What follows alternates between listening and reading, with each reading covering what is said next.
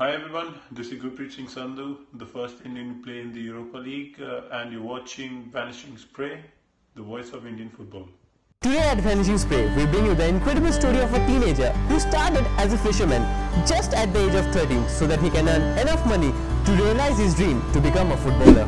Meher's road to Under 17 World Cup starts from the Cuffe Parade dock which is few kilometers off the Mumbai coastline. Just to earn some extra money, Saurabh used to get on his friend's shipping boat and would sail off to catch some fishes.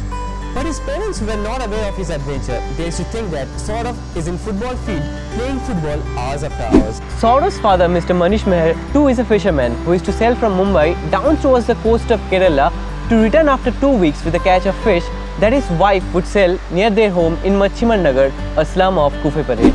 Though his father was a fisherman, but he never wanted his son to be one. It wasn't just for his son's safety concerns, but because it was a very hard life. His father used to think that if Saurabh gets into fishing from a very young age, he might grow up knowing only that. He wanted him to be something else, something way bigger. So one day when Saurabh was getting onto his friend's boat, his father was returning from the sea in his own fishing trawler and he saw Saurabh. Needless to say, he got some beating that night. And that day, the 15-year-old Saurabh finally revealed to his parents that he collected around 6,000 rupees from his little fishing adventure on Arabian Sea over the last one year. Saurabh's inspiration was his cousin brother Harshad, who too is a footballer. He led Air India team to the Durand Cup title in 2011 and had stints with clubs like Sporting Club de Goa and Kalyani Bharat FC. It was Harshad who convinced Saurabh's parents to let him play football. He explained to them that Saurabh wasn't good in studies and if they stop his football too, it would be a disaster for him. The first football club Saurabh joined was Dhammal Boys. In that club, he was a rowdy boy, full tapori style, used to fight with every boys, gali galoch all the time. It took some explanation from cousin Harshad to set Saurabh straight.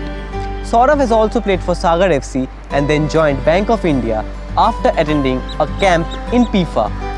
And it is from there that he was called for Mumbai FC youth team. From the 6000 rupees he earned from fishing, he used all of it to buy a sparkling black Nike football boot.